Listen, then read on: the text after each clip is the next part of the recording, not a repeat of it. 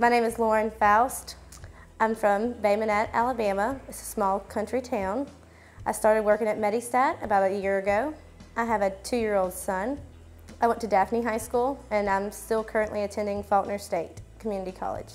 I handle all new prescriptions that come into Medistat. I enter everything into a database called our compounder. We call pre um, prescriptions, get insurance information, and send it through to our billing specialist. The part of my job that I like the best here at Medistat is working with the public in general, helping patients to meet their needs as far as their medical prescriptions, dealing with their insurance companies to take things off their hands. Working with Medistat, you're in a very friendly family environment. Um, the people that we work for, they're awesome people.